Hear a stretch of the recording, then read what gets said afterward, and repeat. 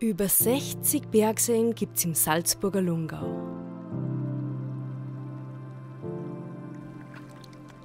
Glasklar und frisch.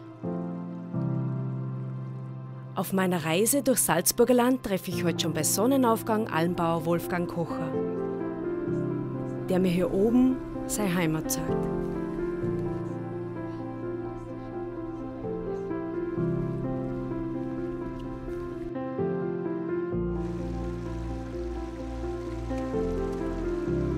Dem Lauf des Wassers folgend geht's hinunter zur Dwengeralm, wo täglich die frische Milch der Kühe zu Butter und Käse verarbeitet wird.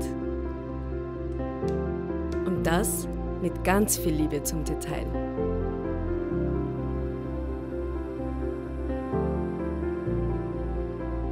Eine Besonderheit ist der hausgemachte Zirbensirup. Mmh, wie das riecht.